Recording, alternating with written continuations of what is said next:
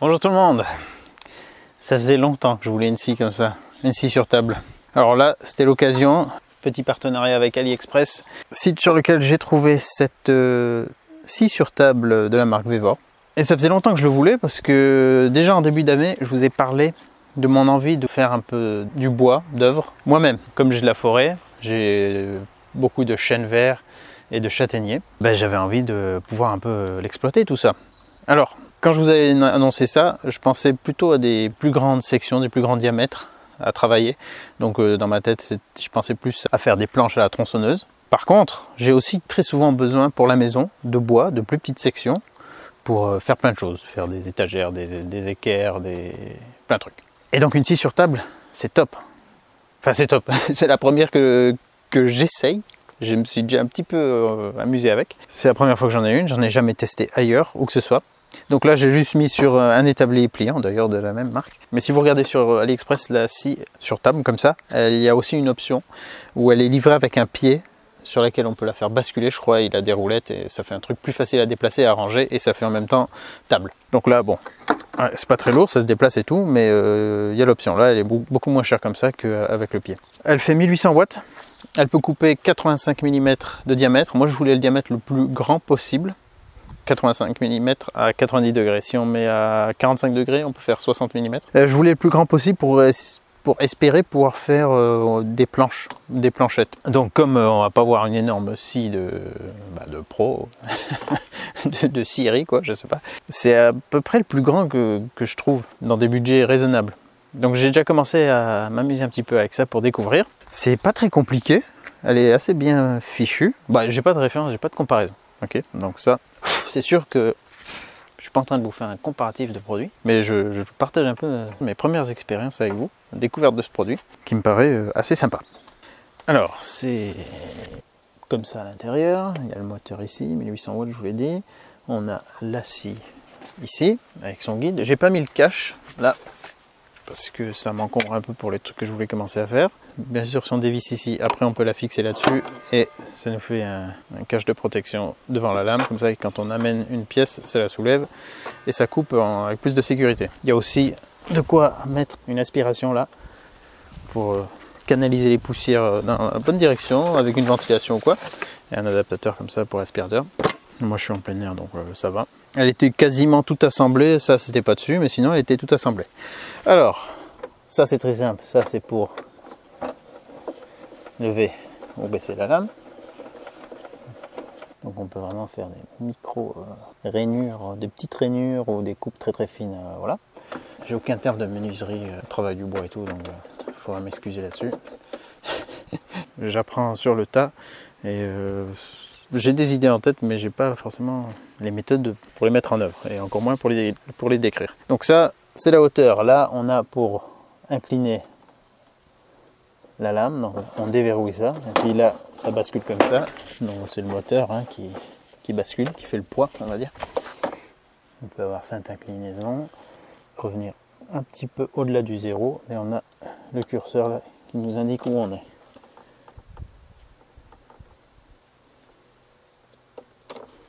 Hop, on verrouille ça. Ici, on a un plateau de travail euh, gradué. Donc, quand on déplace ça, ah oui, pardon, faut le déverrouiller ici ou le reverrouiller comme ça. Si je viens contre la lame, je suis à zéro. Ça peut se régler hein, s'il y avait des, écarts. C'est écrit dans le mode d'emploi. Bon, il est que en anglais, mode d'emploi. Puis après, si je veux couper quelque chose dans 50 mm de large, je viens là, je verrouille et normalement j'ai 50, 50 mm de large. Ça peut aller bien jusqu'ici. Donc une bonne largeur, euh, ça correspond à quoi exactement? Toutes les infos techniques de toute façon seront sur le site, sur la fiche technique du produit. Et si on venait à ouvrir comme ça, après on ramène ça ici. Et voilà, on peut poser le bout de, notre planche ou quoi ici. Elle n'est pas dans le vide. Après, pour pouvoir travailler vraiment contre, ben on, on la redresse et ça vient se remettre comme ça. Donc ça fait quelque chose avec une amplitude assez sympa. On a cet accessoire qui peut se glisser ici ou là pour faire des coupes avec un angle ou bien bien à l'équerre. Ouais, ça aussi il faut bien le positionner pour pas le couper. tout à l'heure il a bougé un peu, donc là je défais les écrous papillons. Je remets ça. On l'ajuste comme on veut, ainsi que ça passe très proche ou un peu plus loin. Bref.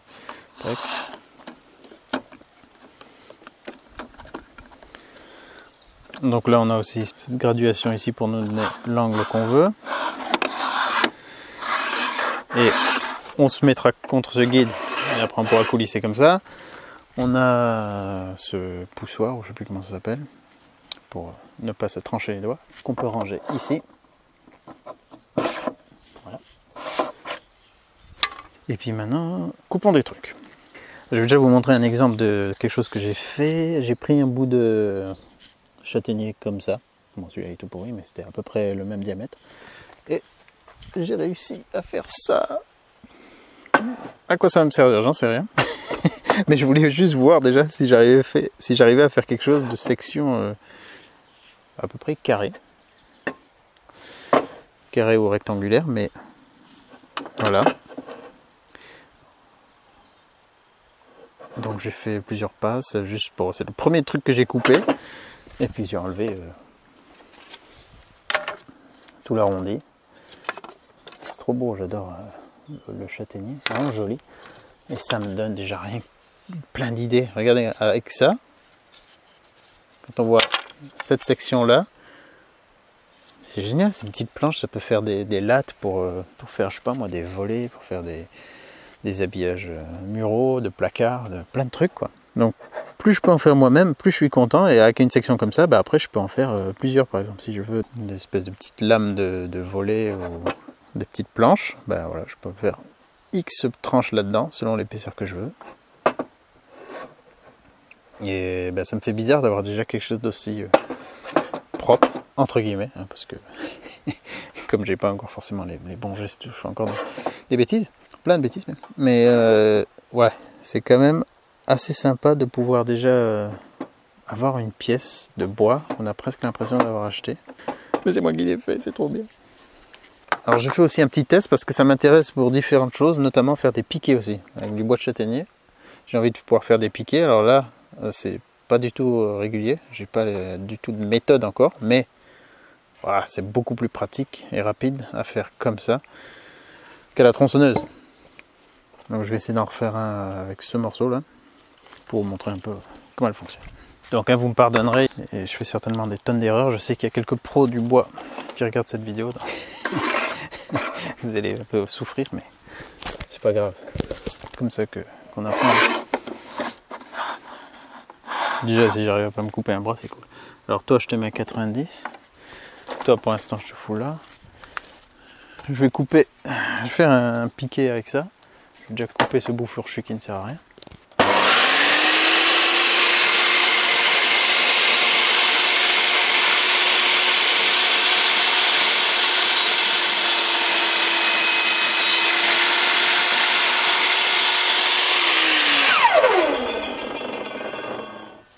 Voyez, elle ralentit assez vite.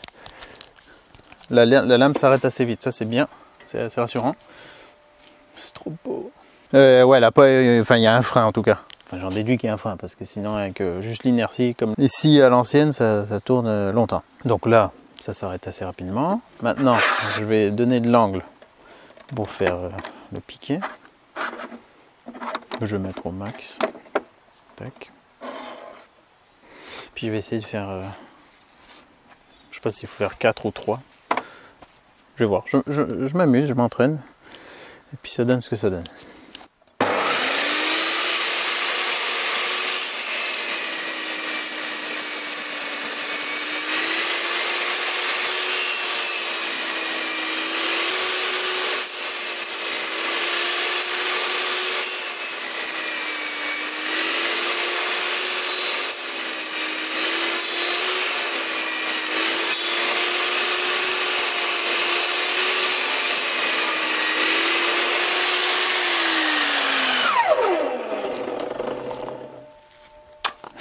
Bon, je suis loin de maîtriser. À la fin, j'ai pu le piquer à force d'en couper. Si on arrive à faire ce qu'il faut, bon, ça fait quelque chose quand même de pointu, mais là, c'est pas du tout régulier. Faut, faut avoir le, bon geste. Là, je m'embrouille avec toutes les courbes et tout, mais, Vous voyez, c'est facile, c'est rapide. hein. Une fois qu'on a compris, ça fait un truc vraiment bien. Putain, j'adore. Au moins, ça fait du petit bois. Et c'est le truc que je pouvais absolument pas faire. euh, bah, si circulaire ou si sauteuse, euh, voilà, bah là, ça change, ça change tout, quoi. On peut vraiment faire des trucs sympas, quoi. Allez, je vais essayer de faire un truc euh, à peu près carré. Avec celui-ci, un bout de châtaignier un peu tout pourri. On va voir ce qu'il y a de la gueule que ça dedans. Je vais déjà essayer d'enlever les trucs qui dépassent de trop. Couper le bout droit. Ouais, tiens, je vais déjà faire ça en premier.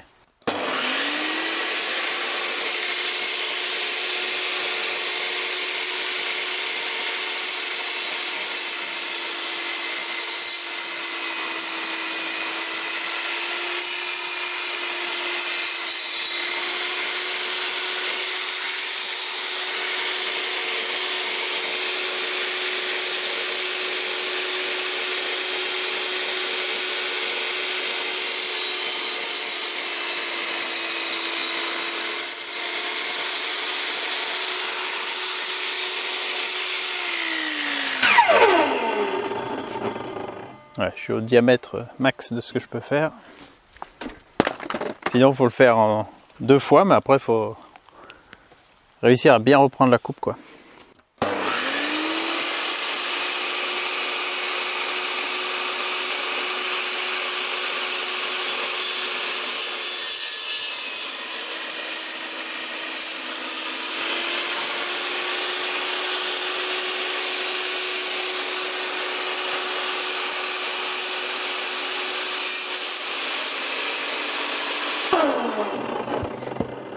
Ouais, c'est bien que ça s'arrête assez vite. Il doit y avoir des machines qui s'arrêtent plus vite encore, mais déjà là, on n'attend pas trois plombes euh, pour replacer euh, une pièce ou pour enlever des trucs. Enfin, moi, je préfère pour l'instant arrêter à chaque fois plutôt que de- d'essayer de, pousser des, les débris à- hors de la zone de travail avec ça. Je pense c'est plus sûr de, de couper.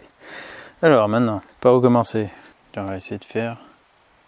Attends, est-ce que c'est mieux que je coupe une section comme ça ou que je coupe euh, un truc fin pour faire le bord Peut-être un truc fin, non? Moi, Je vais essayer. Ouais, on découvre. hein.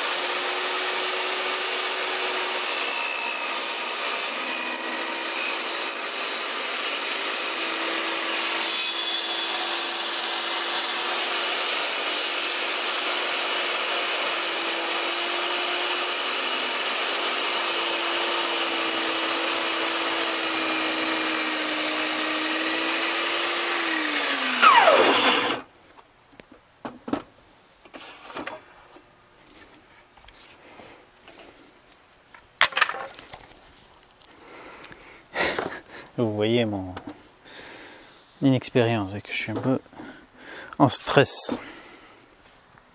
Bon, alors là, voilà, on est à la limite de, la largeur que ça, peut couper en presque une fois hein, par les nœuds.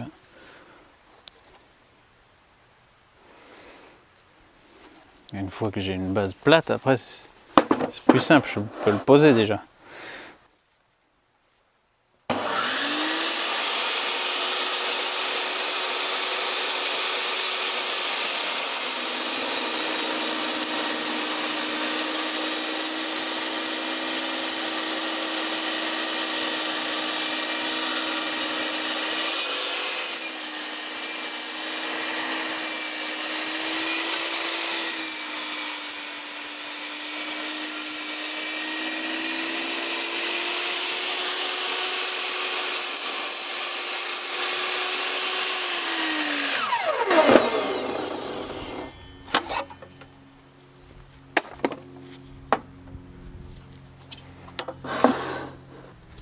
Sais pas trop comment m'y prendre. Ça se voit.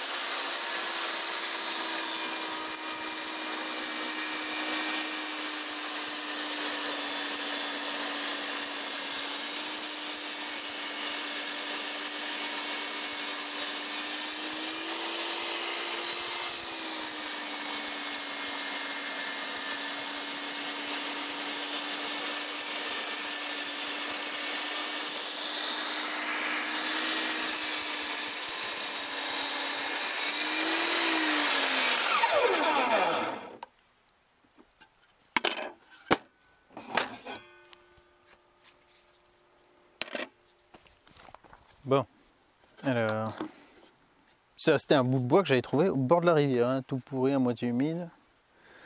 J'ai enlevé cette dernière section parce que là, ça n'allait pas. Mais bon, il y a encore de, de quoi faire quelque chose avec un bout de bois qui, qu'on pourrait croire vraiment tout naze. C'est stylé, hein?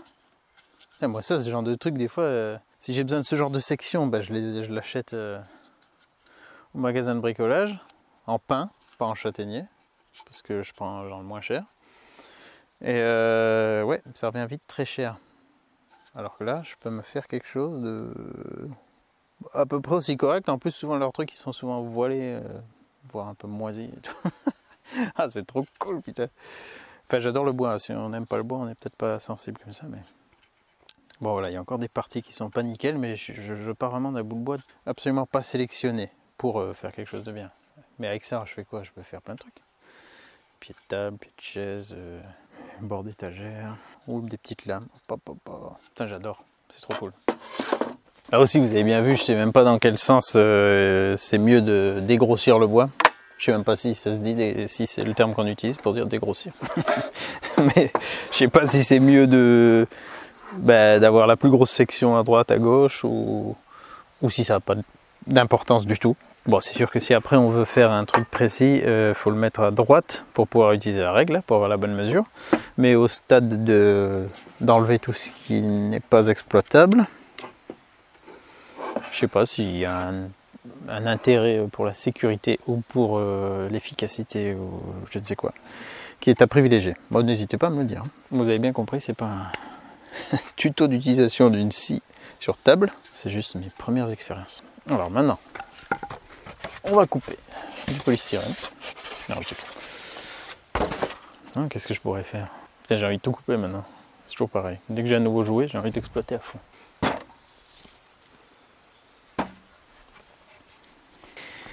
Bon, de toute façon, il commence à pleuvoir. C'était pour partager avec vous ces premières expériences de création de bois d'œuvre. On dit bois d'œuvre, ouais, pour, ouais, pour faire des trucs quoi.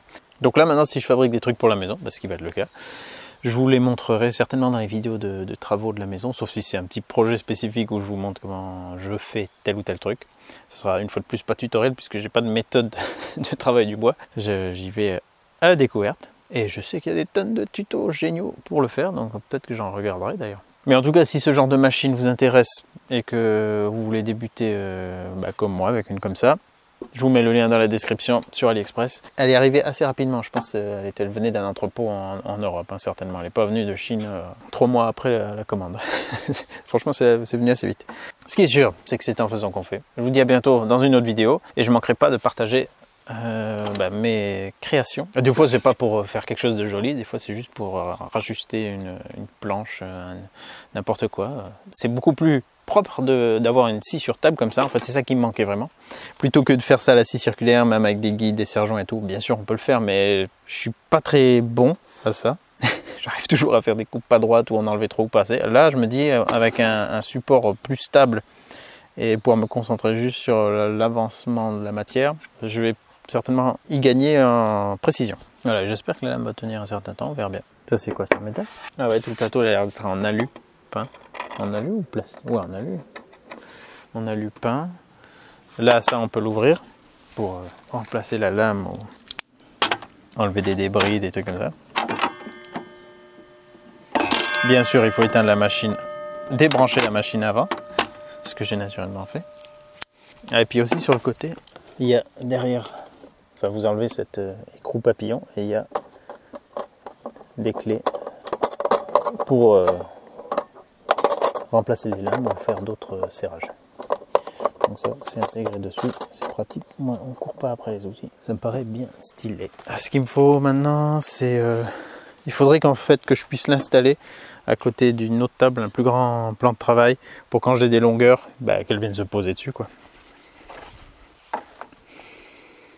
Que je sois pas dans le vide à retenir euh, des trucs de manière un peu scabreuse. Voilà, tout ça c'est affiné. Mais au moins j'ai fait mes premiers pas avec ça. j'ai plein de belles chutes. Ça fait de la peine de les brûler, c'est trop beau. Ah, j'adore le bois, bon Alors par contre, les piquets, il va falloir s'entraîner à faire quelque chose de rapide et efficace. Là, pour l'instant, il me faut 450 coupes avant d'avoir une pointe à peu près potable. Allez, à très bientôt. Ciao, ciao.